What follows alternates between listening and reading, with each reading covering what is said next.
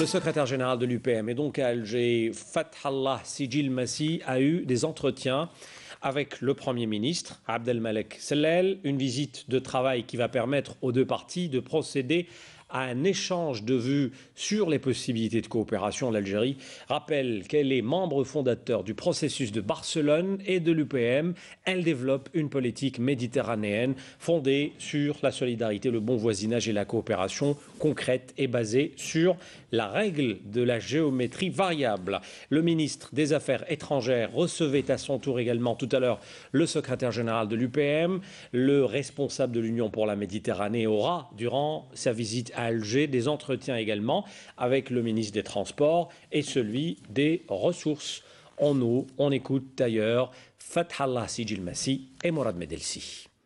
Euh, L'Algérie est un grand pays méditerranéen, membre fondateur de l'UPM et euh, un acteur privilégié dans le développement de, dans l'espace euro-méditerranéen.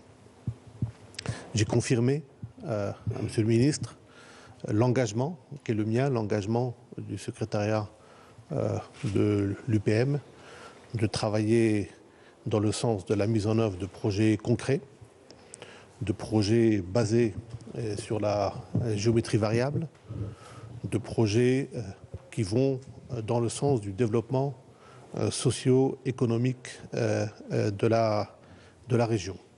Nous avons bien entendu souligné euh, la position de l'Algérie, euh, qui est une position très favorable à l'UPM, dès l'instant que cette UPM est organisée autour du concept de géométrie variable, qui nous permet, euh, dans la sous-région, de développer des projets d'intérêt commun. ce secrétaire général aura l'occasion de rencontrer beaucoup de responsables.